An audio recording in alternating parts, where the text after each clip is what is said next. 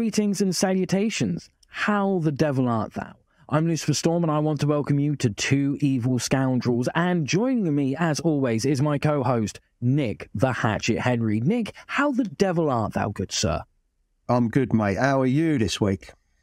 I am awake and I'm dressed. So two out of three, not too bad, mate. I'm still Yeah. trying to figure out what number three is. Some people have said you're breathing, and I was like, "Mm, I don't know if that's really as important as being awake and dressed. Yeah, well, if it's good enough for Meat Loaf, mate.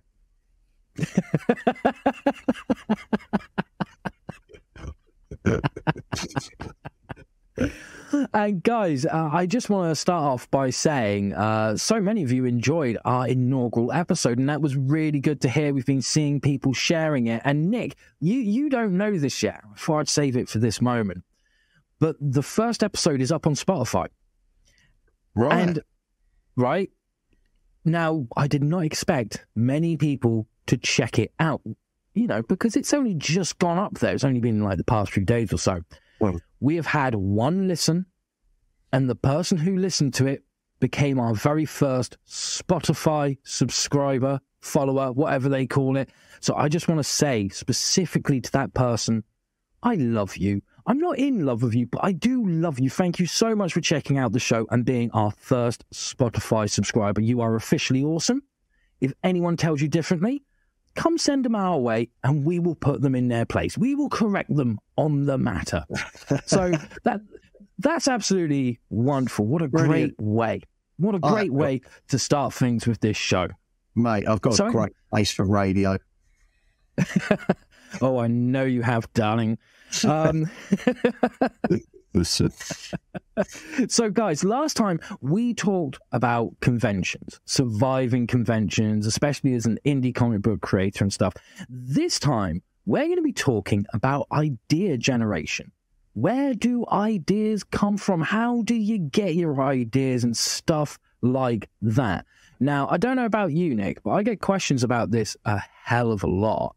But it's not actually the easiest subject to talk about. Do you agree with that, or, or is it different for you? Yeah, I mean, sometimes it is. It depends on what sort of questions are asked. Some people ask Yeah. you a question as though they, they want you to create an idea for them, Yes. um, which is impossible.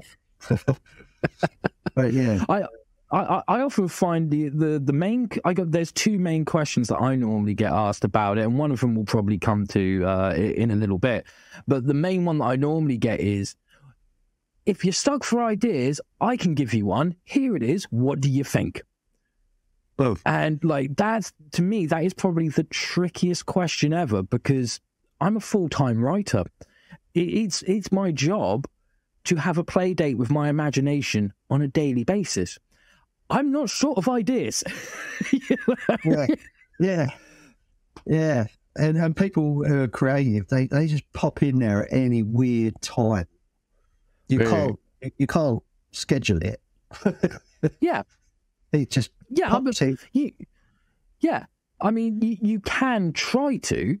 Uh, there are ways of scheduling it, but it's that whole thing. Like, I, I I've heard other people talk about ideas before, and one common thing that I that I often hear people say is, "Oh, I'm an idea machine. I, I just churn out ideas," and I'm like, "Yeah, but which ones are good and which ones aren't?" because that's something I, I do I do see people struggle with. I see a lot. I see a lot of people who go, "I've got fifty ideas," and it's like, yeah, but how many of them are good? Because I mean, at the end of the day, I could have the idea to have a sandwich, and that's a great idea. If I'm, especially if I'm hungry, it's a great idea. I could Mm. also have the idea of, I think I'll go shoot up at school. Not a good idea. Not a good idea whatsoever. Just, just Yeah. because you have an idea doesn't mean you should roll with it, you know? So I think that's part of the reason why it is a difficult subject to talk about because deciphering whether you've got a good idea or not can be very subjective and personal. Definitely. Um, I think, see, I, I think that any idea, taking away all the shooting up and stuff, Well, yeah, you know, I, I- I just want to start off harsh because it's only Yeah, going to get worse yeah. from here. yeah, don't do it. don't do it. Drugs don't work. Um, yeah, no, I think that any idea creatively is worth noting. because Yes. no matter how good or bad, and if we take the bad ones, uh, you can you can go back to those in the future. You could think, oh, I've had a better idea that involves Yeah. that idea that I can make it better. Yeah.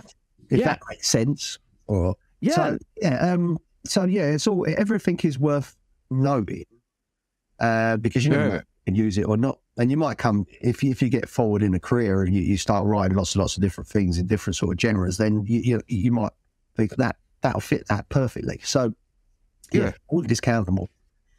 No, definitely not. Definitely not. But know which ones are the best to work with. Know, Yeah. like learning how to decipher which are the better ideas to roll with. And like I said, that's not necessarily an easy thing. I mean, I've had ideas before that I've that I've uh, you know I've turned around to a trusted friend and said, you know, I've got this idea for a story, and I've explained it to them. They've been like, dude, that sucks ass. Yeah. No one would ever want to read that. And then I'm like, you know what? My gut says differently. My gut says people are going to like this. And then I'll put that idea onto paper and then I'll turn it into a book. And then lo and behold, people really fucking like it. you know? And Yeah, and there's ti and there's times where you have an idea for a story and you think you, you think yourself, that sucks. That's not going to be any good Well, and then you do it anyway and people really like it so it like i said it's such a difficult difficult thing to to get a handle on it does take some time to perfect deciphering whether the ideas you've had are worth following or not and sometimes it really is a crapshoot yeah, and you uh, the best way I find to do it is is you've got to have five people that you trust. yeah and, and just limit it. Don't go too mad. But if you get an idea and you want to turn that into a comic or a, a graphic novel, um, Yeah. Get the five people you trust. Write down a very short synopsis of of what it is, a story or a character, or, you know, and um, and show these five people. And Yeah. I guarantee you'll get different views from every single one of them. Two of them may be similar, but you will get different views and they'll like certain aspects of it yeah more than others. If they turn Yeah. around and say, that is a proper stinker, I don't get it, and over half of them do that, say three of them, then, then you know really you think it's a good idea, but it might be a shitter. And put it to the Yeah. side. Yeah, I don't waste time on, on, on things like that. If if you if you get an idea and you think it's the best idea in the world and you go ahead and do it on your own, it's a tricky situation you're in because everyone, Uh, yeah everyone it's just so different. Yeah, it it is tricky. I mean, when when I started out in my career, oh God knows how many years ago now, like well over ten years ago.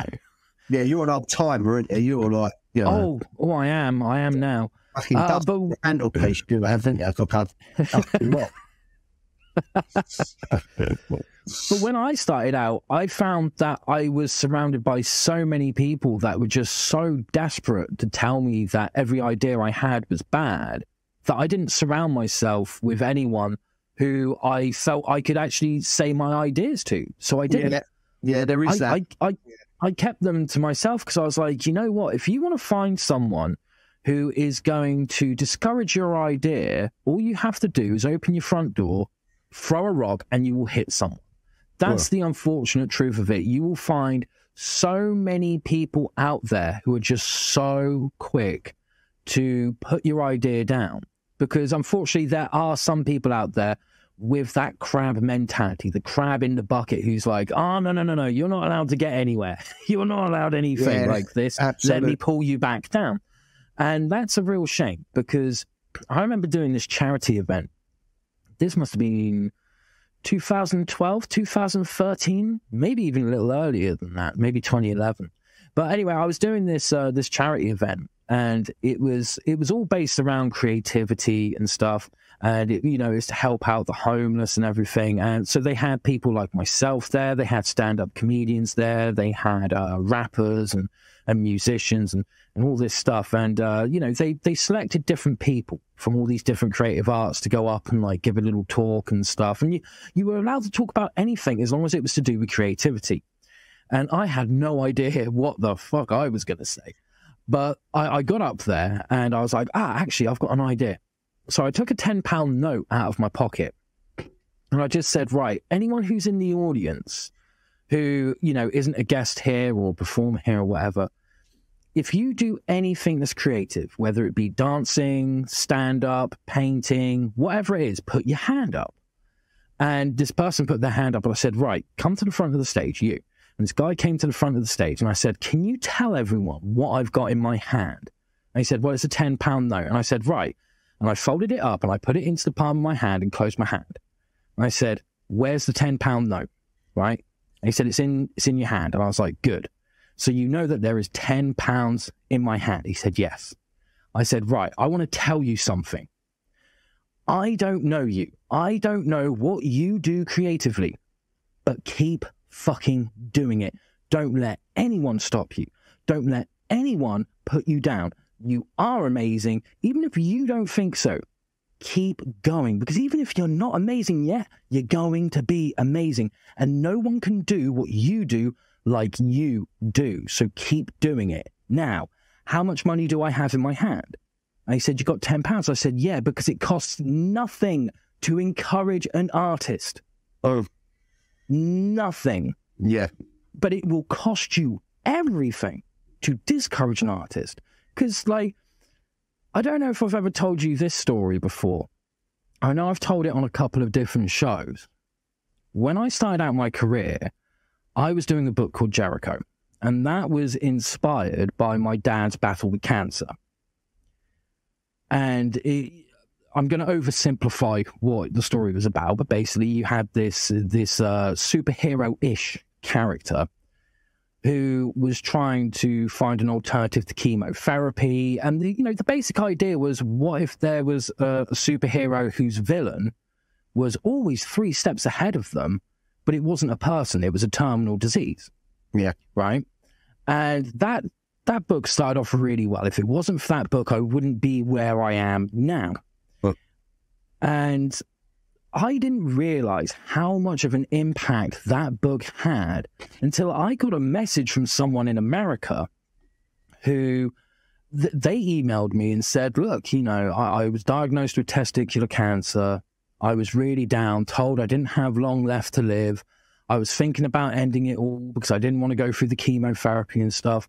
But then I picked up the first issue of your book. I read it, and it was great seeing a hero who was fighting for someone like me. Yeah. So that's given me the encouragement to keep going and to do the chemotherapy and stuff.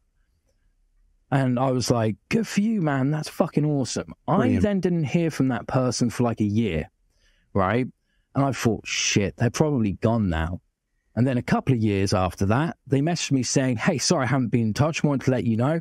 I did the chemotherapy and all that. I had the operations. I'm all good and I'm still going. And it wouldn't have happened if they hadn't read my book. So imagine if someone had turned around to me and said, nah, don't do it. It's a shit idea. They Yeah, may have been yeah. right, but then that guy wouldn't have had the encouragement to keep going. Yeah. It's inspirational, mate. You should be proud of that. Definitely. So, oh, But then- believe you me, I am. You've, you've hit on that, which is another big talking point, which is if you're going to have an idea, you've got to make it original. Yes, yes, and that is it. That that's one of those things that I think a lot of people think is more difficult than it actually is. Yeah, I, I, I find it. I do find it quite difficult sometimes when when I write, and I, I think uh, I'll speak to. Um, I mean, I'm lucky. I've got my missus, who's the biggest critic I've ever got. So Yeah. she'll tell me if something's shit or not easily, and then I don't like back burner that. Yeah. she, she's she's on the same wavelength. And I'll also talk to my illustrator Mike, who, who's the same, and he'll he'll say, "No, I don't really, that don't really sit well."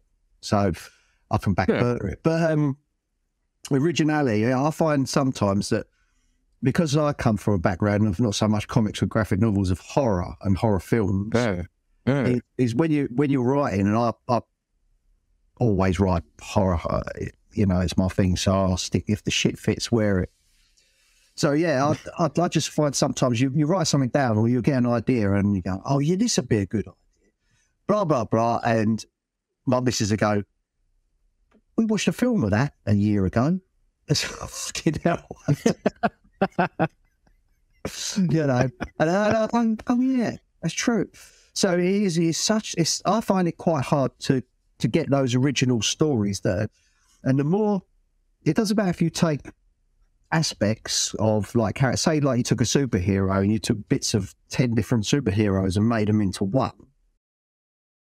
And it was original. No one else had done it. That's fantastic. It doesn't matter if you do that because at the end of the yeah. day loads of superheroes if you're going to write a superhero story you're stuck if it fucking you can't, can't get a superhero in but yeah so but yeah i'd say it's just the originality of pieces and I, I do see a lot um, I'm critical of myself really badly. And, and yeah. if I do start writing something and, and it, it, tweaks in there that it could be some something that's been done before, yeah. I'll go research it and see. And if it's bang on the button, then I'll just push it to the side and I go, no, I can't do it. Oh, yeah.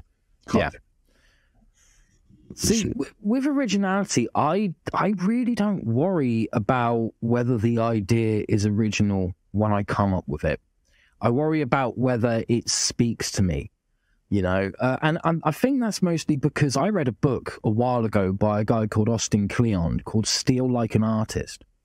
And it was him exploring the fact that everything we we experience, whether it be in film, television, music, whatever, is all it, it, it's all taken something from somewhere else. And he came yeah. to this uh, this idea because he was doing, I think it was Instagram he was doing it on. He made what he called a blackout poem, where he would take like a newspaper article and he would take a black pen and he would start crossing out words until there were literally only a handful left, and they would make like a line from a poem. And he thought it was so original. And then someone messaged him and went, You do realize there was a guy who who did this like 20 years ago. and he, he he thought, Oh shit, it's not original. So he looked into that guy and then realized that guy had ripped someone else off 20 years before him. And that guy had ripped off someone 20 years before him. And that actually was like a it went like hundreds of years back of people doing that kind of thing. Yeah. And that's when he started exploring it and going, you know what? there isn't actually really anything original anymore. Oh. You know, it, it's it's someone else's take, but that's what does make it original. Because the the whole reason why he called it Steal Like an artist is because if you borrow an idea, then you're not going to change anything about it. You're not going to make it yours. You are literally, but it's like if I went round to your place and said, Hey, can I borrow your t shirt? If you, if I borrow it from you, I've got to give it back in the exact same condition. So I can't do anything to it.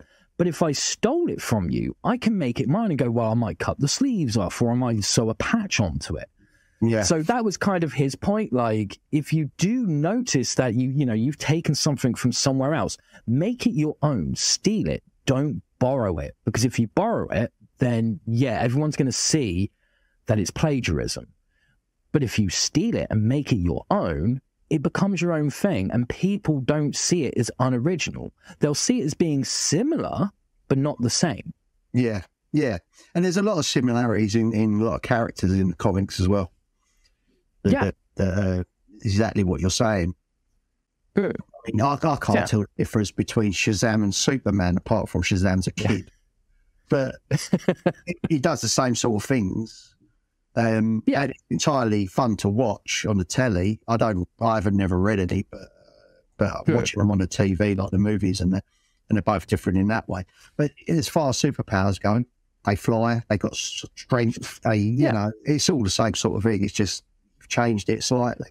So yeah, yeah. where you're coming from there.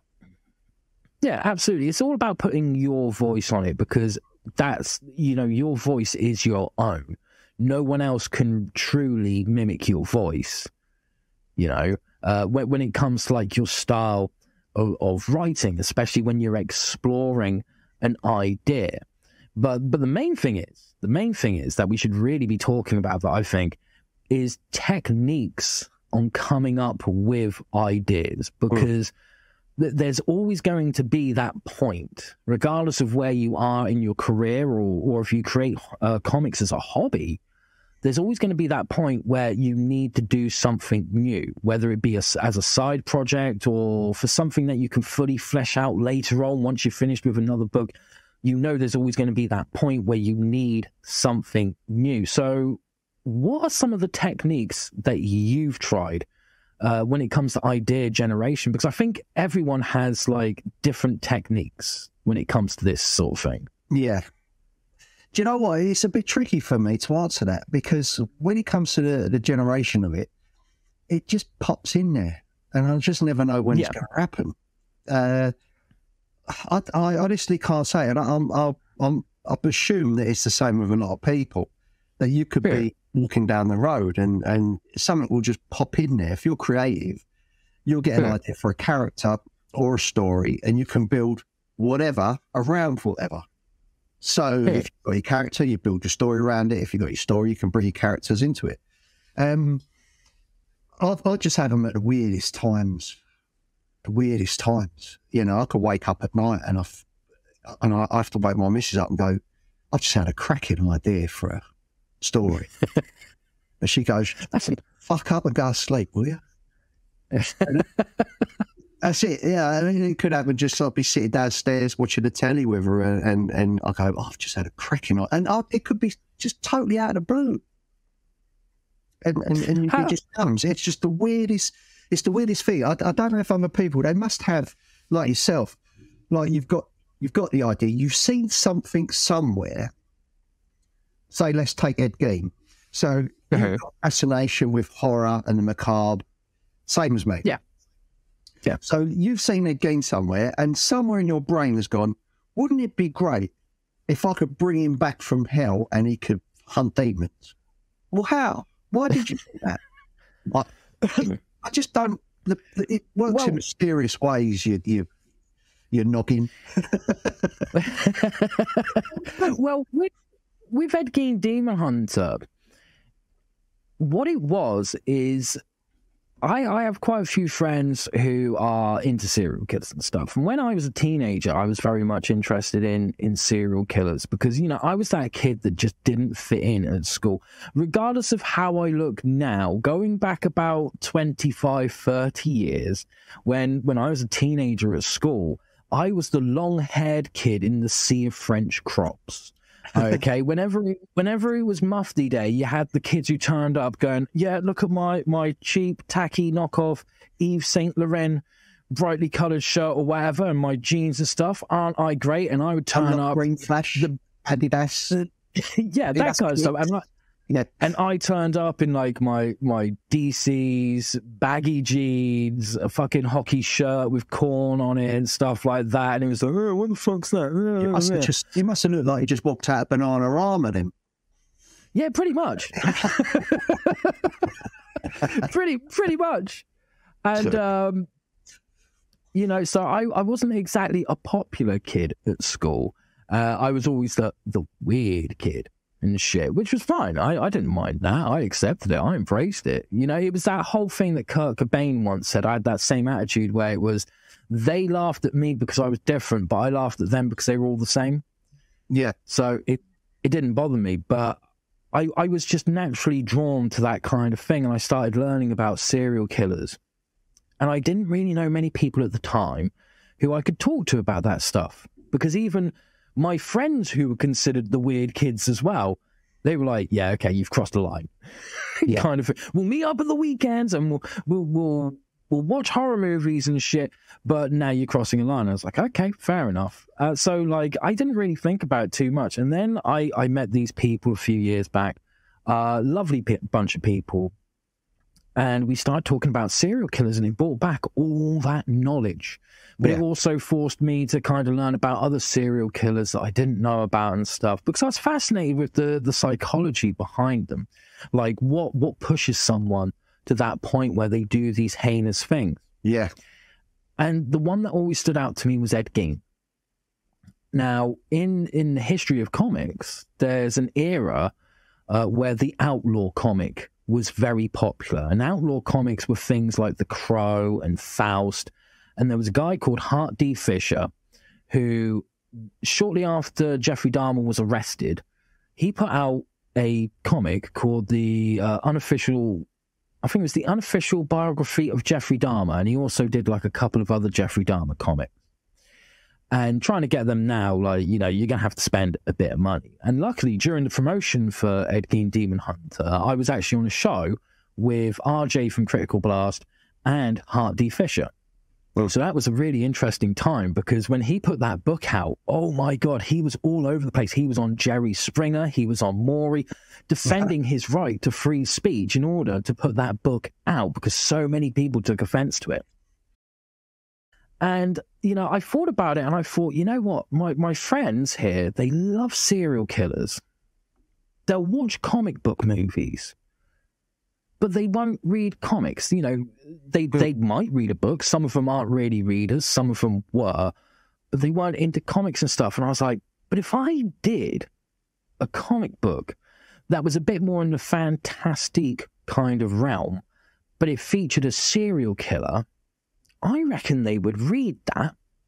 Well, and I, I got home from from the pub one day after seeing them, and I just thought about it a bit more, and I was like okay, you know, there's things like From Hell and books like that, but that's not going to be up there. It, you know, it does need a bit of that almost adventure kind of aspect to it, yeah. but still in the horror realm and stuff. And I sat there and I started scratching my head and I just couldn't think of anything. And I was like, oh, well, I'll come back to it later. And then I just lay on my couch, turned on the TV. I can't even remember what the fuck I was watching. And for some reason, like I'm just sat there watching TV and I'm starting to drift off to sleep. And then my brain just went, what about Ed Gein Demon Hunter? And I just sat up and I started laughing because I was like, that's fucking ridiculous. That is a stupid and but, ridiculous idea. And it's just a title. It's just Ed Gein Demon Hunter. But it's just popped in, right? Isn't it? It's just yeah, yeah. You don't know why. You don't know how. It's just gone yeah. bosh for some reason, in that really relaxed state, my subconscious went, Don't worry about it. You go to sleep. We've got a handle on this. Let's put this word together and this word together and this name together. What about Ed Gein Demon Hunter? And I laughed because of how stupid it was. And well, that's what made me go, That's why I need to follow it because it is stupid. But let's just see if it really is stupid. It seems stupid on the surface but what's underneath it? That's what I'm always interested in. What's underneath it? And I started thinking about it and I, I didn't really know what to do with it because, you know, I think a lot of people, if they'd had that same thought, they would have gone straight to, oh, so Bernice Worden and Mary Ho- Hogan, they were actually demons and that's why he killed them. And I thought, no, no, no, no, no. We're not going down there because that's too much of a basic idea and so disrespectful to the people that he killed. Like, whatever I do with this, I can't be disrespectful to the victims of his crimes. Yeah. And I started speaking to like a couple of people, trying to just like, you know, find people who might be interested in drawing it because I was like, okay, I'm not drawing it. I don't think I'm the right person to draw this, whatever this idea is going to be. And, you know, I heard back from a couple of people who were like, yeah, no, I can't do it because my, my schedule's busy, or just simply, I don't want the backlash from working on something like this. And I, you know, that gave me time to think about the story more. And then it just, it slowly fell into place of like, well, hold on. What if, what if it was after he died and so on? And it just moved from there. Like I was, every time I came up with just like the smallest element, I'd be like, no, that doesn't excite me. And then I'd well, think of something else. No, that doesn't excite me. And then I think of something else. And I, I always go back to it. There's a gut feeling, and I can't explain what it feels like, but it gets you excited.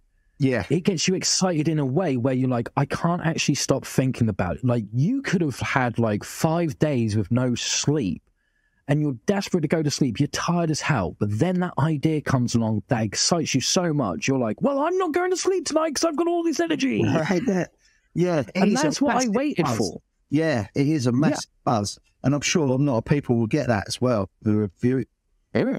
Um, yeah. And if you're if you're new to writing or you're thinking of it and you're watching these because you want to get into it, you wait for it. You'll get that buzz. It's going to be amazing. And once yeah. you get it, it sort of like overtakes you a bit. It's it's like you've got to yeah. get it down. You've got to get it down now. get it on there, get Yeah. that word file open, bosh, bosh, bosh, get something down before you forget it as well. Yes, yes, absolutely. Especially when you're my age. the greatest side thing is you can't fucking remember what they are about a minute later.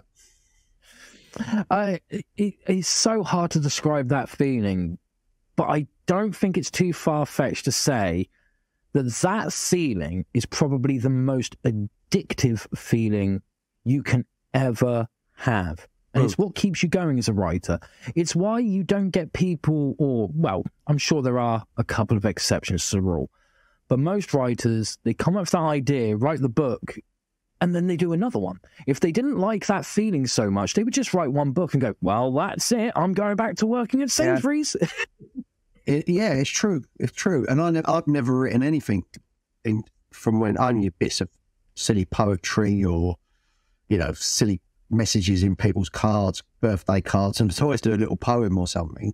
But Yeah. I'd never written anything till I wrote London Gothic. And once I started, I did not stop. It took, Yeah. it doesn't take your life over. It just, it just gives you, puts you in a, your own world yeah, that you Yeah, you it enjoy. You enjoy it. And whatever you're doing throughout the day, I mean, I, I, I run a company throughout the day anyway, but I'd be there and I'd be thinking, oh, I've written that. Now, what would happen if I changed that and I'd done this instead of this and this is. So I'd write those bits down just quickly. And, um, Yeah. And then go, and when I got home, I'd look at the, the, the script that I'd done and I'd go, nah, doesn't work. Or, yeah, let's change that. And then bosh, you're on it again. And like you say, you could be there for hours. You don't even see the time go. yeah, See the time. Oh, absolutely. It just it just it just goes. And before you know it, you start at five, it's half past twelve at night, and you've done about 20, 30 pages. Yeah. And and you read back through them and you think, Wow, did I actually do that? so, That yeah, that is the best. it gives you a buzz because you just end up in a funny little world. And I always say with London Mm. The devil made me do it because I can never remember writing it. But I think what you're saying, it, it does, it just it- kicks. I I was talking to someone a couple of weeks ago, a friend of mine. Um, you actually you you know him as well, Marshall. Yeah. And I was saying to him that sometimes when you're writing a story, from from the moment that idea comes along, that you're like, oh, I want to write this story, that really excites me and stuff. And it and it, it's got a hold of you so much, you have to write it. You don't even worry about Yeah. the development. You're like, you're like, fuck it, I'm just putting something onto paper now. Even if I have to do like 10 drafts to make it good, I just need to put something on there now. I said to him, like, the only thing I can equate it to, and I'm sure it is not this, but it fucking feels like it, is that somehow you've managed to get your brain on a frequency where you've tapped into an alternative dimension. Yeah. And all and all you're doing is you're watching someone else's life play out and you're writing it down as a story. They're dictating it to you. They're saying, "Oh no, no, no! At that bit, that didn't happen. When I was out the other day and I was kicking someone's ass, that that's not what I said for them. It was more like this, and then this happened and stuff. You really do feel like you're possessed. Yeah, it and it's true. That's that's how it felt to me. It felt like it wasn't me who did it. Huh. I don't know how. I still, I, I've never lied to people. I just don't know how I did it. I mean, I can write stuff now because I've done London Yeah. And I am writing bits and pieces, and I've written other po- poetry like horror poems that have been published and stuff like that. But, but yeah, I just don't. I just still, it just kick-started me onto that. So if people are getting new to it, then go for it, and and you will experience that feeling of of Yeah, whatever it is, supernatural. For all we know, I don't know. Spooky Yeah. possums. I mean, I, we, we both gravitate towards the horror genre anyway. I think that's because of our tastes, but I would also assume because of life experiences as well. Yeah, So I, I, I do, I do think for other people they may experience it, but it may not make them gravitate towards the horror genre straight away. But then again, you know, you could have that idea that makes you go, "Oh my god, I gotta write this book. I gotta write this story. This story is so fun. This is such a good idea, and it's in the horror genre." And then the next idea you have, you end up going, "This is a romance, or this Yeah. is a comedy."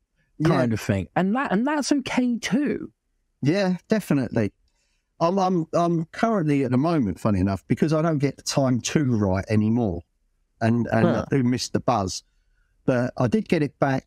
Uh, funny enough, this week uh, I, I've had a conversation with a friend of mine, a really good friend, who wrote as a as a hobby was writing um, plays, and um, Yeah, I, I don't yeah. think he ever had any put on the stage, but he used to really enjoy doing them, and he's mad on London Gothic, absolutely loves it.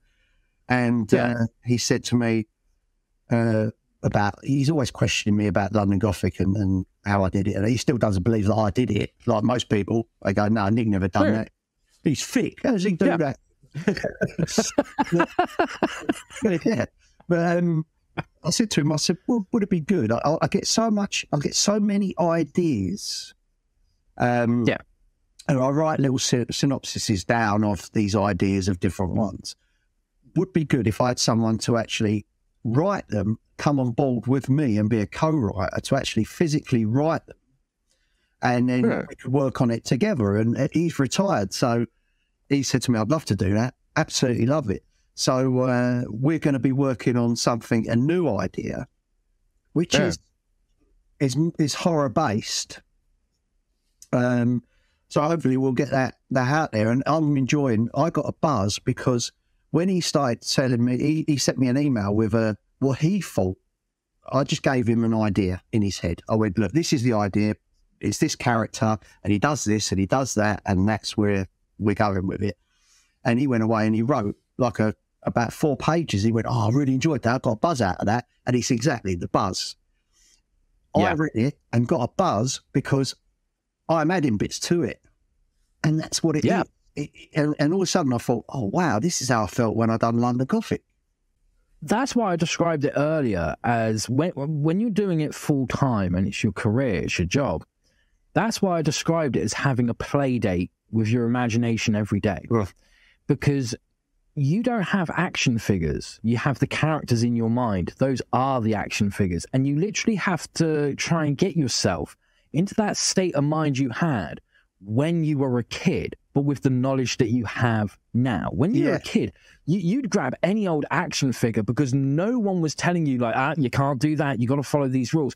There were there were no rules. Your Thundercats could play with GI Joe and the Turtles at the same time, and you would come up with these big epic tales that they made no sense.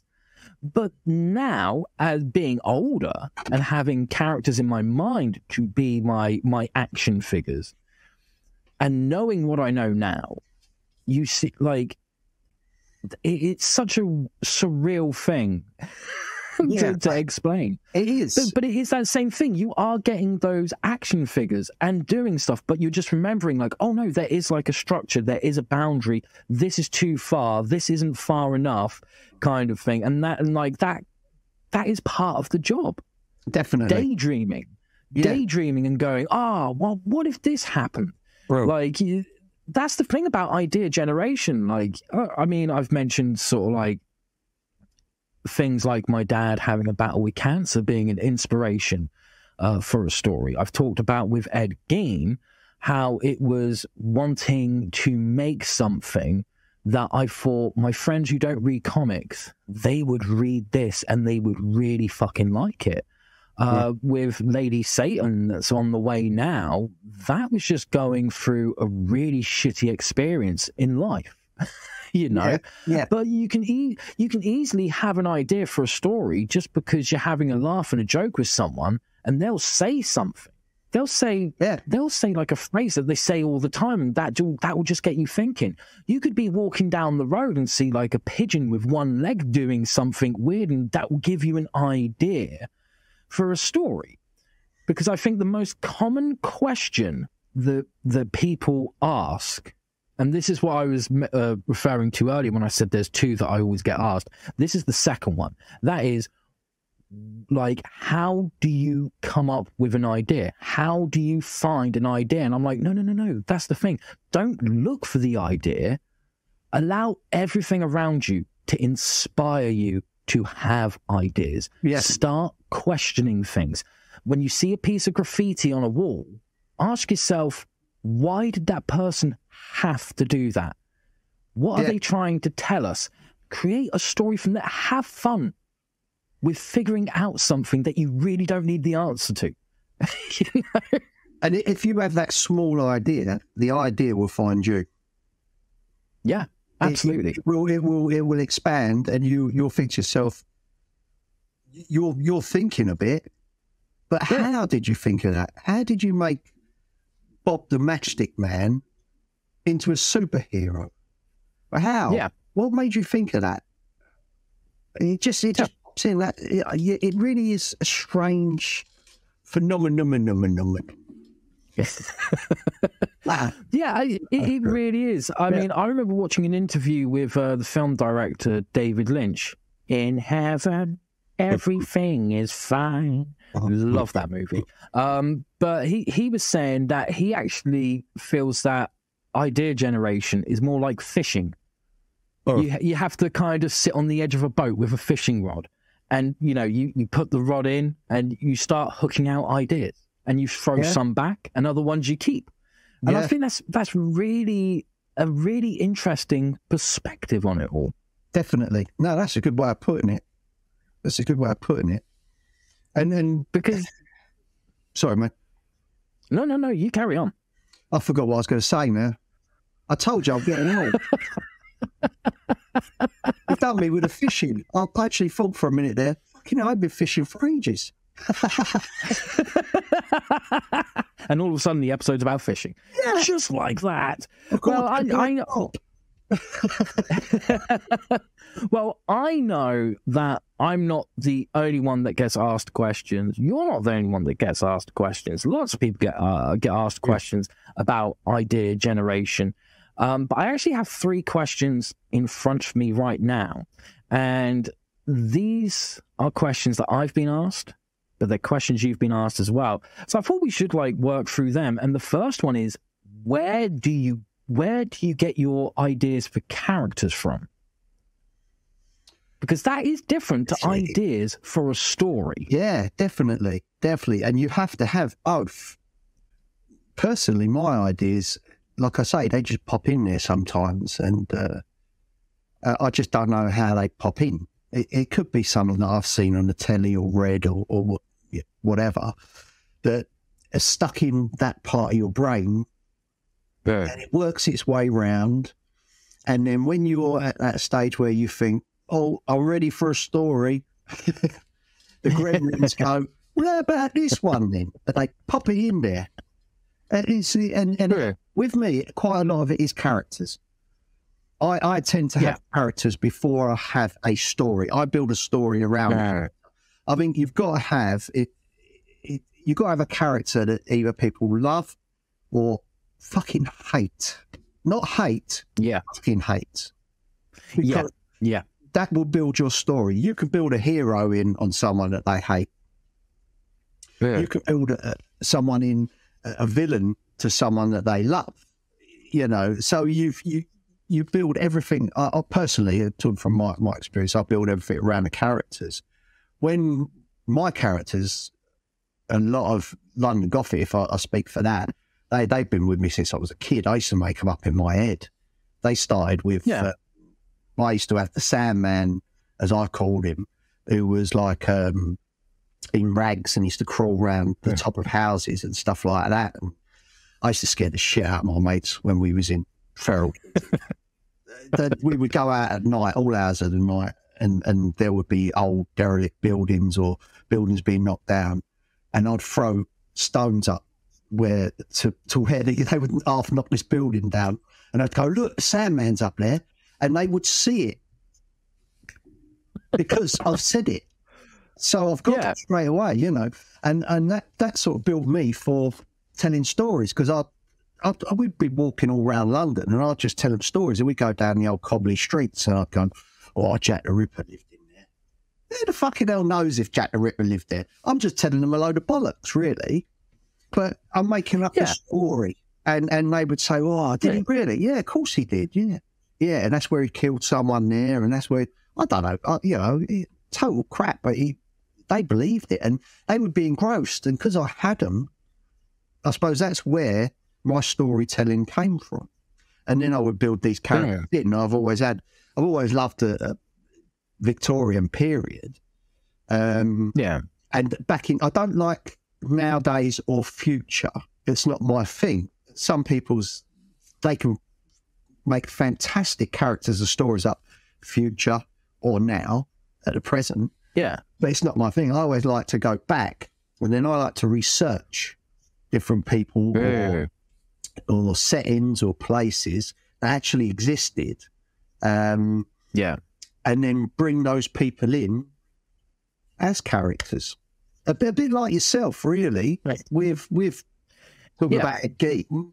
Um, I know you branch off on a lot of different areas with Lady Satan as well, um, but know, with your Ed Gein, it's the same thing. It's a historical figure that you've uh, Yeah. You've made well. I mean, I mean, one of the appealing things about the the actual concept for Ed Gein was being able to do it after he died, but still in the but still in the past for me, mm. and there there was something about that that just really sang to me. And with with Lady Satan, when the book opens up, it, it opens up in New Year's Eve, 1993, I think it is, and then it jumps forward to New Year's Eve, 1999.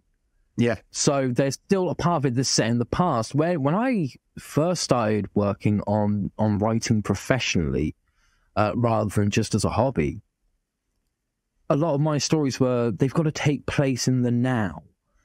And after a while, I'd be like, but I've got all these ideas and I'm not going to be able to tell all of them before I die, but I want them to take place now. But by the time I get to it, it will be 10 years in the future. Will that story still be the same? And I just got to this point where I was like, I am much more interested in telling it in the recent past or, or a bit further sometimes. I mean, Yeah. I've been bouncing around an idea for a possible uh, book to work on after Lady Satan yeah, that Uh, that will t- that will take place in two different timelines, and one would be like one timeline would be the eighties, and the other timeline would be the Second World War. Because I just think there's something I don't, I, especially with where we are now uh, in the world and all that. Like we we've progressed so far in such a short amount of time, and you know we've seen firsthand like the rise of politics becoming very popular, which I think is one of the most awful things that ever fucking Yeah. happened. Like it's just bullshit. As as someone said to me, politics is for puppets, and I completely agree with that statement. Um, you know, and we've seen the rise of technology and everything, and to me, that that doesn't inspire me to create stories. no, Uh, what inspires me to create stories is looking back that little bit. So, yeah, I, I, I'm with you, man. I'm very similar, especially now. I'm more interested in telling stories uh, in years gone by and being able to do that research. That is such a huge, huge part of the process that is so fucking fun. yeah, and and you only have to start off with one character. Yeah, It, it, it is. It's Yeah. one character. It took me 40 years to, to write London Gothic, to actually put pen to paper, so to speak. And I started off with who I called the Sandman. Now he's called the Soul Creeper for legal reasons. But Yeah. um, he needed, he was a villain, so I needed a hero. So then Yeah. you create a hero. That's where it gets creative because you have to look Yeah. at things and go, right, I'd love him to be like this. The first time the Duke was ever drawn in 19, oh, it might have been, no, 2015, when I first had the thought of, of actually getting this thing down, was uh, it was a guy at work. It was a, it was a it was actually a talented artist who works for me. yeah, I, I said to him, I'd love to to get a picture of the Duke, and I explained to him what he Hello. looked. Well, when he drew it, he actually looked like V for Vendetta. Oh, right. So my subconscious was saying, yeah, and I want him to have this, and I want him to have a little funny moustache and a little bit here, and he's got to have, you know, like a bowler hat or a top hat, and you know, have a big leather jacket with all lines in it. And, and I'm thinking, when he done it, I went, that looks really good. And then after Yeah. a while, oh, fuck me, it just looks like V for Vendetta. so I thought, well, what? I can't do that. So years passed and I still didn't get around to writing it. But then when Yeah. I got to it, it gave me a base. And I went, right, that's what the Duke I thought of when the guy Yeah. drew it. How can I make him different? So I did. I changed him around and, and researched of what sort of weapons people had in, in that era and things like that. So yeah, that, that that's how it came to that. And Jellicoe, I thought he's got to have a sidekick. Well, my granddad and my uncle in uh, in Ireland, just a pair of nutters. Yeah. and and that was it. It- He just he was created as those people, Yeah. And he's the one most people love because he's cheeky and he's piss taker and you know he's sarcasm, and he's just a loon. But but he he wasn't even mentioned before. So it's amazing how things develop, and you'll bring these other characters in that you need to to make that Yeah. story. Yeah, I, I do think that a lot of ideas for story come from characters. Like concept, you can come up with before you've even got a character. That's easy. That's no problem because that's a, once again that's another part of idea generation is sitting there and saying, "What if? What Well- if this happened instead of this happened? Or or what if someone realized this, X Y Z kind of thing." but the story itself doesn't form beyond the concept and the premise until you really have just a tiny little spark of a character. That I mean, think Yeah. about it. How how many fairy tales begin with "Once upon a time there was a princess," Yeah, or "Once upon a time there was an evil king." Right. They they the first thing they mention in that story is there was a person. This is what the person was like. This is what they did. This was their attitude. This was their perspective. Because characters are kind of the heart and soul of the story. You, if you find a story and you take every character out of every scene, you've just got shots of really nice locations. Yeah. And that's it. It's Yeah. not a story. The No. characters help make the story. So, it, so it it. is important to spend time thinking about them. and you, if you've got a character or characters, and you've got that story in your head that you develop, Yeah. you can take those characters and put them anywhere within that story that you want to. Yeah. They are yours. You created them, and you make your own world. So Yeah. you are the master of that world, and it's no different to gameplay. And um, not that I've played any, but I know a lot of people that play the Dungeons and Dragons and stuff like that. And and Yeah. you've got your character, and he goes into a world. The world's already been created for you.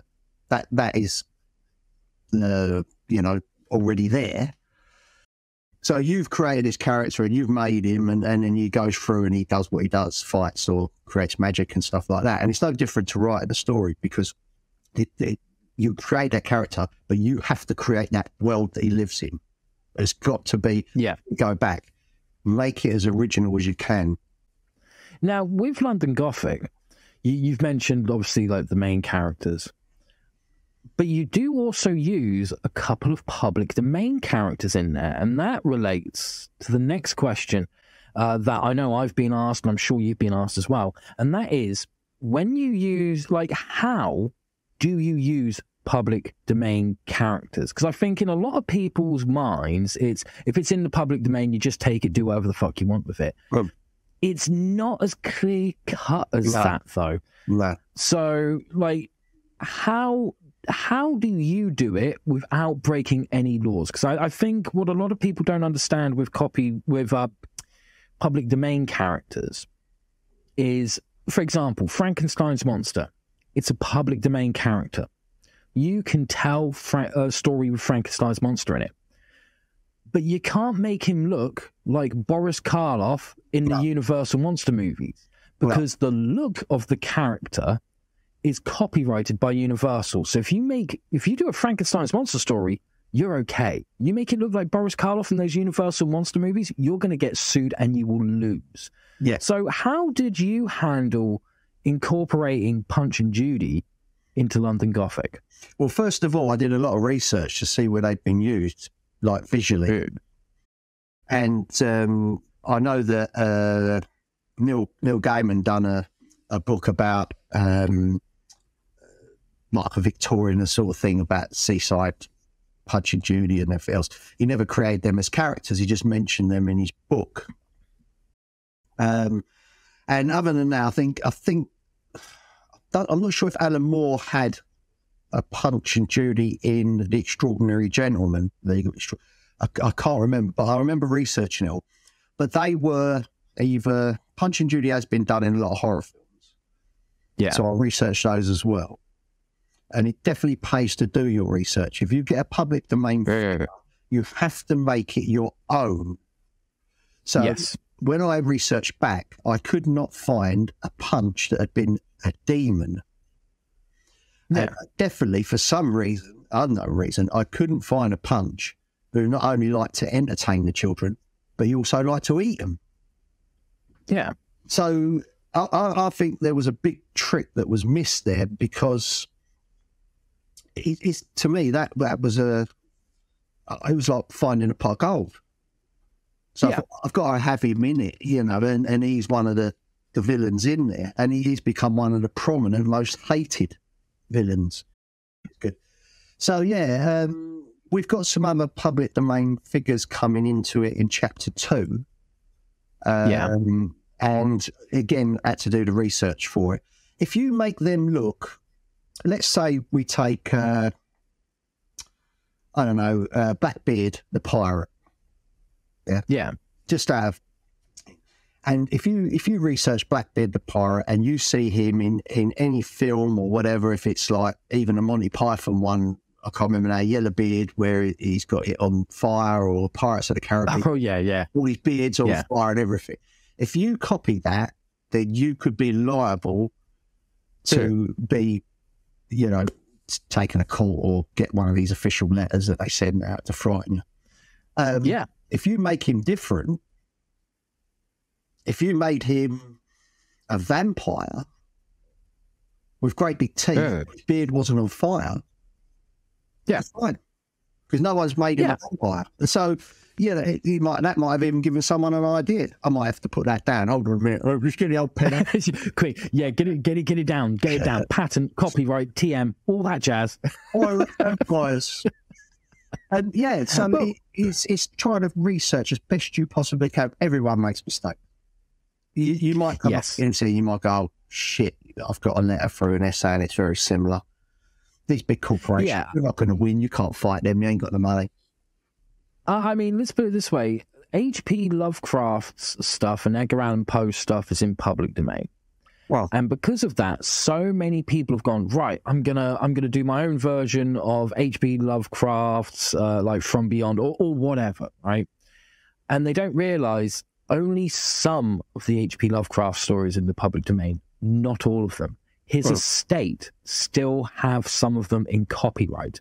I'm not sure if it's the same with Edgar Allan Poe. I haven't done enough research on that, but you, you know, I, I, don't think it is the same. I think with Edgar Allan Poe stuff, it's all in the public domain because I hmm. haven't heard of anyone having any copyright issues. And now the most the most prominent one is I think it was like at the end of last year or beginning of last year, Winnie the Pooh oh, became oh, God, public yeah. domain. So because of that, there's this mo- there's this movie that's just come out called Winnie the Pooh: Blood and Honey, which is yeah. a straight up gory slasher flick. That I heard a review of it recently. It sounds it sounds like they had a good idea and fucked it from word go. Which is um, I, I, a lot of films, yeah. Yeah, and I even found like the other wait, what the other day? It was about a month or two ago. Like I was just scrolling around and I found out that there was someone doing a book called Winnie the Pooh Demon Hunter.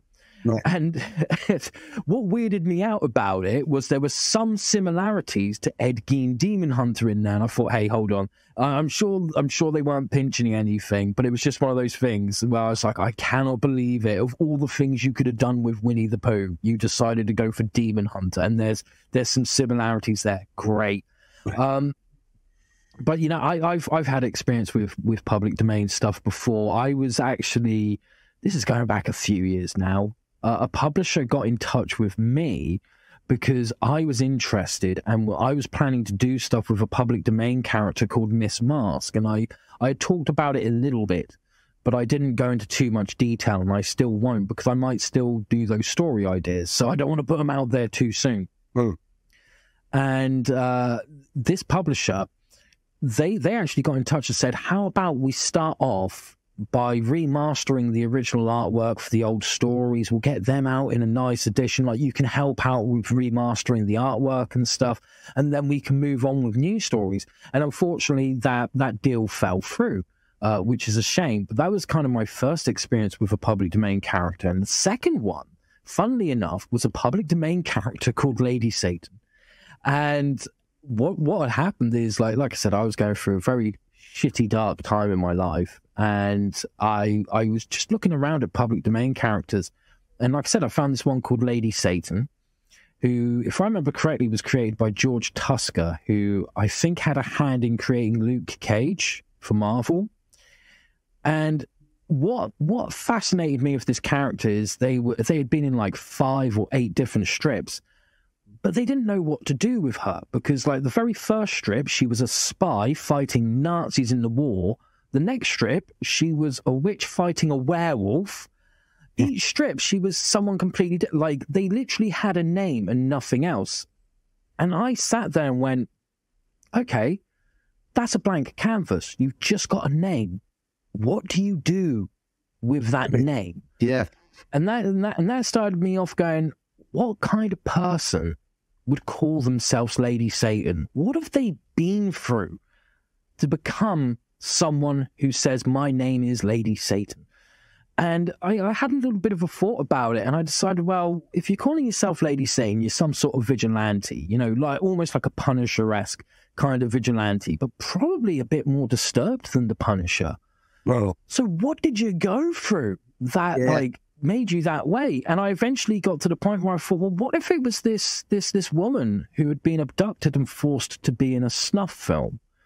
and she somehow survived the whole experience and then it just snowballed from there and before yep. long i i had this completely new character who the only thing she shares in common with the public domain character lady satan is the name and the fact that part of her backstory is when she was a kid she read those lady satan comics so it's become my own thing. And shortly after I started promoting it, I actually had uh, Von Klaus, who's done a book called Monster MD and Terror in the Trenches. He got in touch with me and went, is your Lady Satan the public domain character by any chance? And I had to explain for it. He went, and he just went, oh, thank Christ for that, because I'm doing a book with a character called Lady Satan who is the public domain character. So that's the other like risk that you've got to take if you're using a public domain character is you might not be the only one who's using them at that moment in time, and releases might clash. It might cause a bit of confusion in the marketplace. That is a risk you have to be very aware of. Definitely. If you're researching public domain, if you put in Google public domain uh, figures, you're going to get a list of the most popular. So if you, what I would say is, try to research characters from a certain era or, or genre that you're doing that were real or fictional. Yeah. Um, or legend in my case. I like myths and legend. And then find out if they're public domain. Because otherwise you will end up crossing over, if you've got, like you say, Winnie the Pooh, the first thing that's going to come up on, on a top 10 is if you put public domain yeah. figures in Google, you're going to get Winnie the Pooh now, I would have thought. Yeah. So, how many people are going to go, wow, Winnie the Pooh, we can do what we want with him? But there's going to be so many people yeah. around the world doing the same sort of idea. And then when you get your book out and you realize Winnie the Pooh, the vampire, is the same as someone who's done it in the States or in Australia yeah. or wherever, you're not original then. Yeah, absolutely. Because the unfortunate thing with uh, with with something like Winnie the Pooh entering the public domain is there are so many people out there, and I know I'm going to get some backlash for this, and I just don't care because it's called the truth. There are so many people out there who only create because they want to get rich quick. Yeah. So they see something like Winnie the Pooh come into the public domain and go, brilliant, we're going to make millions off of this because we're going to do something crazy with it or whatever. But there's so many of them and they're all doing it at the same time. Yeah. Yeah. And that is that is a bit of a problem. So you do have to be careful when you start playing around with public domain characters. It's actually better to play with the ones that no one's talking about. Yeah, because definitely. You, you've got you've got all the room in the world to to really let your imagination come to fruition and do something spectacular And- with it. And that's the, otherwise you'll get lost in the fucking mist. Yeah, it'll be a fad. Sorry. It'll be a fad for a while.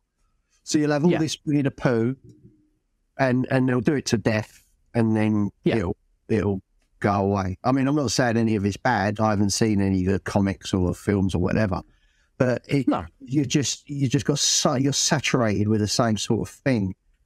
And, Yeah. and it's a bit like at the moment. Uh, I'll, I'll watch the whole of The Walking Dead, so I put myself through that and without slitting my wrists.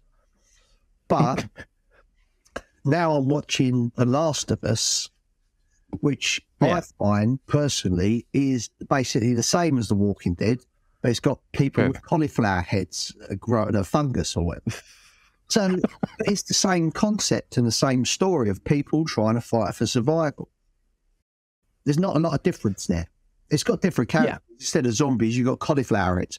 But it's it's the same sort of process. And I think that with especially with all these big filmmakers and TV shows, they are running out of original ideas. They just have not got original ideas. And you, never know. You could come up with something and, and and then it gets picked up. It probably probably take about 20, 30 years for it to get picked up, but it will get picked up and then uh, they run with it. So you know, you just never know. But Well, you, I think I think that's it's not. It's uh, it gets a bit samey. it? I think that's because at, at this moment in time, people who work at like the TV stations and uh, the the movie studios, they are putting such huge amounts of money into those productions. It's too much of a risk.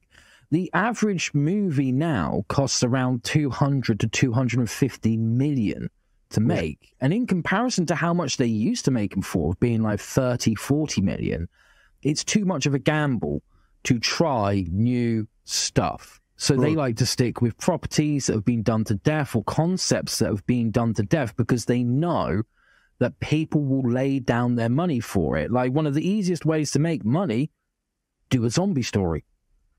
But the Yeah. problem you face there is because that thought's already been had, there's once again that oversaturation of zombie stories. So Right. now you get a lot of studios going, nah, we won't do zombies. If we do something a bit different with it, though, we might end up doing it. But it, you know, that state of affairs means that you've got producers running it more than you have creatives. And that that reminds me of I think it was Oscar Wilde who once said that when bankers get together they talk about art and when artists get together they talk about money.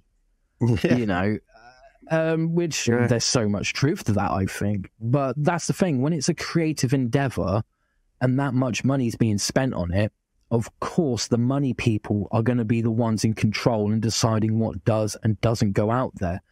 But when the money that's put down for it is less and less, then the creative has more control. And that, I think that's why so many people are putting books out independently rather than going to traditional publishers. It's not because of the progression of how we distribute these materials.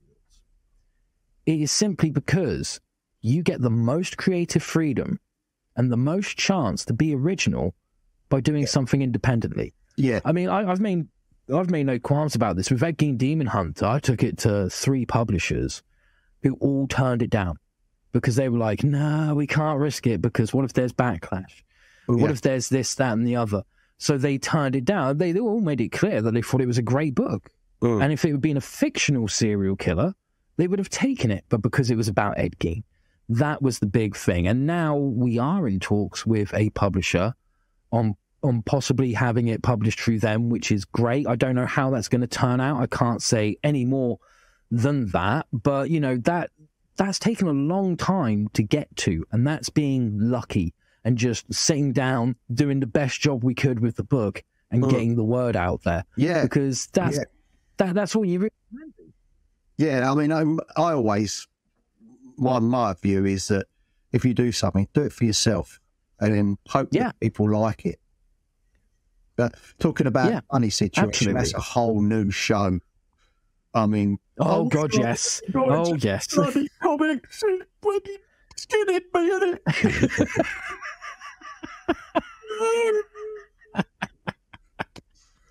Well, there, there is one more question. There Hmm. one more question uh, that I know I've been asked and you've been asked, and that's what's the best way to note down your ideas?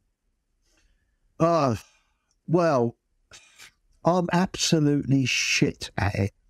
I confess. that I, I'm just useless. So when when I I've got a great wife, that's all I can say. Who, who writes everything down, records it on her phone, and Yeah. then if I need the idea, then I can play it back or read it and then write it as a, a quick synopsis.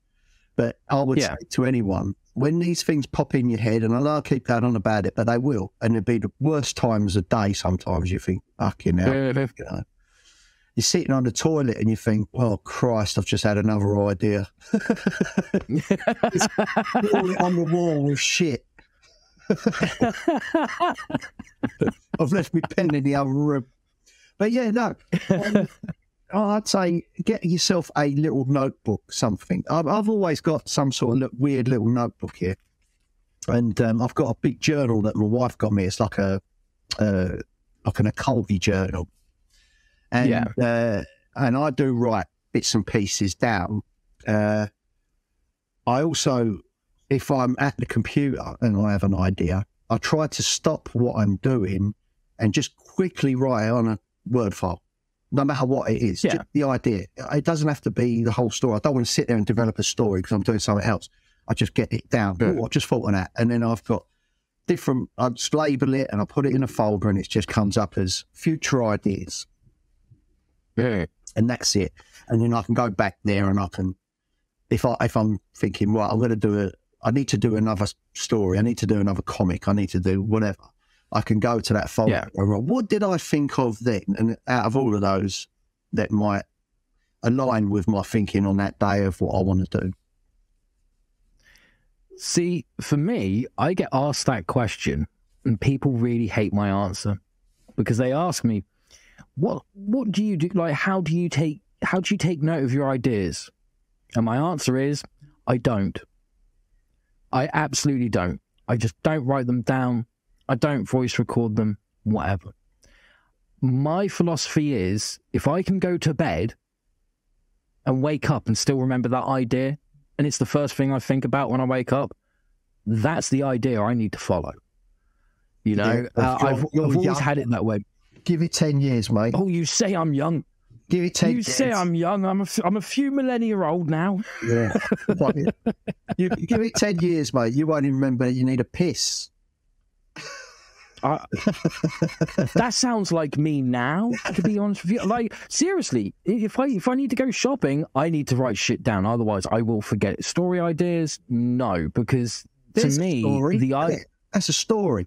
Lucifer goes shopping. Oh, okay. That's Send your scripts chapters. into. Four chapters, mate. His adventures in Tesco. the wonderful world of Sainsbury's. now known as Satansbury's. When he got lost in Argos. oh, excuse me. But but this is the thing. Like I, I don't know what it is, but I don't get me wrong. There's been certain story ideas that I've had, and they haven't survived the night whatsoever. They they've been forgotten. But they're like I don't worry about them. I don't sweat about them because the ones that really that really stand out to me are the ones that I remember. There's no way that I couldn't forget them. Uh, like as as strange as it, it may sound, I, I'm going to tell you another little story. So Oh, about it Sainsbury's. was about no, no, no, no, no, no, no. I'm saving that story for after I've hit stop on the record button. if I couldn't find the Walker's crisps. no, no, it was um, it was last year. I was thinking to myself, sort of like, you know, I, I'm I'm in my forties now, and there's everyone has that bucket list thing. I don't, I don't do that. I don't subscribe to that idea whatsoever. But I was thinking, like, there's certain things in my life that people have opinions about, and they have strong opinions about them, and I don't because I haven't experienced them. And one of them was speed dating right? I'd never experienced it. So, like, I'd hear some people being like, oh, that's for fucking losers. And other people going, oh my God, I'd love to do it. I bet it's amazing. I thought, well, I can't join in with this conversation, right? And at the time, I just thought, fuck it, I'm up for a laugh because the worst thing that's going to happen is I get to weird out 10 strangers and I've got three minutes to do it in. Oh, sounds like a challenge to me. So I, I actually got tickets for speed dating, went on my Todd, knew fucking no one there, obviously. And I remember being sat there looking around, like, and everyone's getting ready. Like, there's all these people who are nervous, and I'm like, I don't care. I'm not here to score. I'm not here to impress any of these motherfuckers. I'm here to have a laugh, speak to strangers, and like I said, weird them out. Like, it's going to be fun. So I'm walking up to everyone before it's even started. You all right? How's it going? And you've got these name badges on you that say, hello, my name is Lucifer. So I had so many people going, is that really your name? Like, that's amazing. right? And then I just had this moment where, like, you know, they rang the bell to go, could everyone sit down? You've got a number, sit down at this table, we'll tell you how it's going through. And they're explaining how it all works. And all I'm thinking is, oh my God, how cool would it be if sort of like, you know, you've gone to a couple of tables, you've spoken to people, and then the lights go out, you hear a scream, the lights come back, and someone's dead in the corner because it's not really speed dating, it's a murder mystery night. I thought like that would be amazing. And I've never been able to forget that idea. Because there's something about that idea that makes me go, oh, I want to know more. I want to explore that idea. Yes, that's, that sounds good, mate. That sounds good. It's very Miss yeah, I've, I've never you got a little bit, yes. Old lady coming with a walking stick, and she goes, "I'm the detective here." and then and, and, then she pulls out a shotgun. Yeah, it's everyone else. like, now you motherfucker. Yeah. Now tell me who he was. it's everyone except she pulls out. She wants you to take her. She... she pulls out a Ouija board. but, but this is what I mean. Like, I never wrote that idea down because I know I'm never going to forget it. It no, was the same with Ed Gein Demon Hunter. Once I had the idea, didn't need to write it down because it, it, just stayed. Yeah. It was so, it just stood out to me so much and it, it said something to me. So I was like, yeah, cool. I'm going to have no problems remembering that one. We're, we're so different in that aspect. It's good because some people yeah. are like you, some people are like me that just can't remember. So if you don't get it down, for my case, it it just get lost in the atmosphere and just float away somewhere out there. I but, mean, don't get me wrong. I, I don't recommend that anyone do it the way I do it. you know, yeah, I don't know why I do it that way. It just does. Some people like yeah. it. They can just remember stuff. It's like, bosh. I mean, when I was younger, I could remember everything. It, it's yeah. just age. I just can't remember fuck all. I don't even know where I am now. I don't even know who you are. Mate, I don't even know who I am. Someone told me I was going on the shopping channel.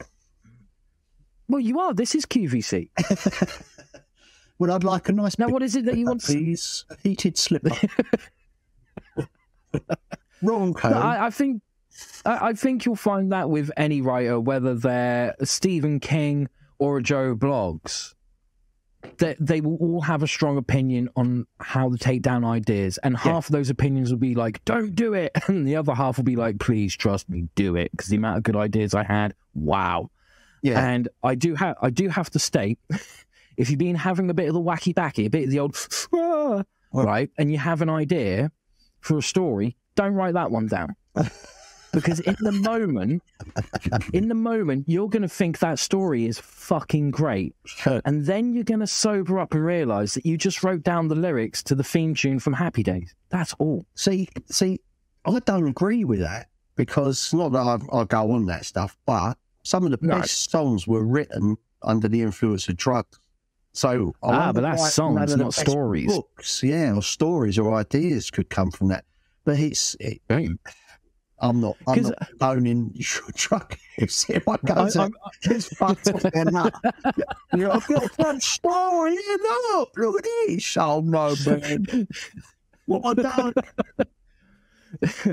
No, like, I agree with you on the music thing. 'cause it's like what Bill Hicks said. If if you're against drugs, then burn every single one of your favorite albums Yeah, because I can almost guarantee the musicians that made them were high as kites when they did it. Well- But for some reason, it's not the same with stories. And there are so many brilliant authors out there and comic book writers who have all said the same thing of like, yeah, you think you have an idea on drugs and for a story and it's great. It isn't.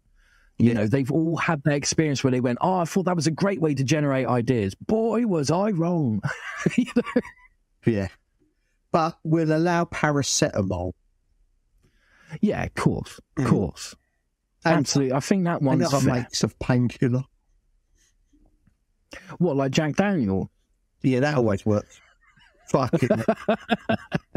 I met some of my greatest inspirations sitting on a, a night on the settee with a single malt after about three or four. I've just had this great idea. My wife goes, shut up. In the past, when I've had that moment, Yeah. In the past, when I've had that moment, when it's been, you know, you've had a couple of drinks, and you go, "Oh my god, I've had a great idea," and then everyone goes, "What?" And I go, "I'm gonna have another one." That's what the great idea is. I'm gonna have another drink.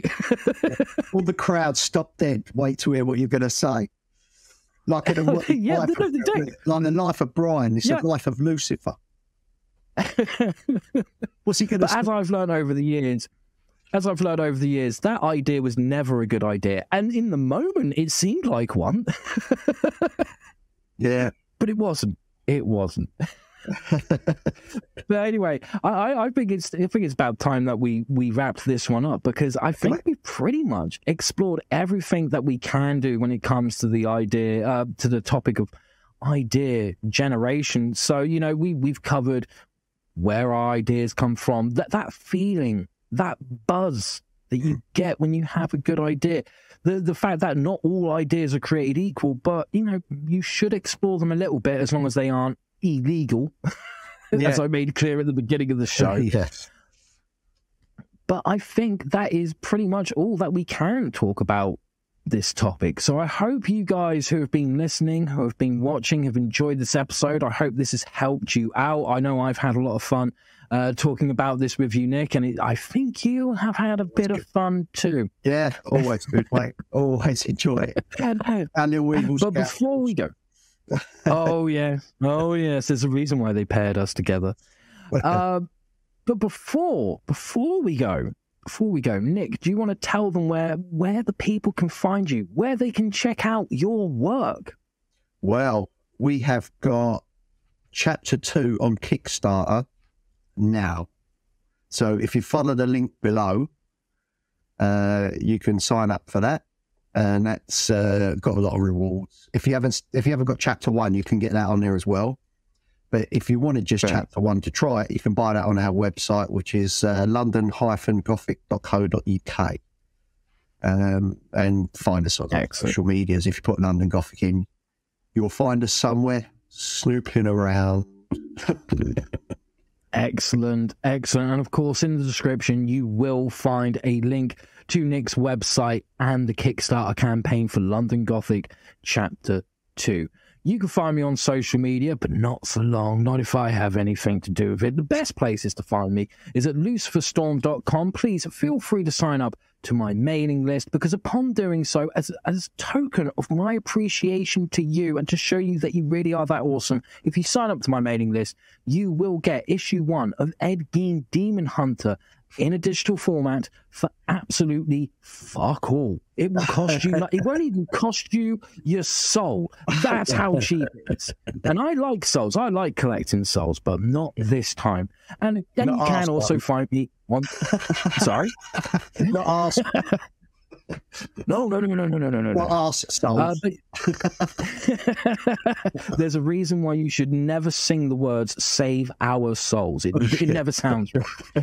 Uh, but you can also find me on YouTube. Just look for Lucifer Storm. I do the occasional video where I, I teach uh, a little bit on how to write a story and all that. So if you are a fellow storyteller and you want to learn more about the mechanics of storytelling, uh, you know, you might want to check out my channel.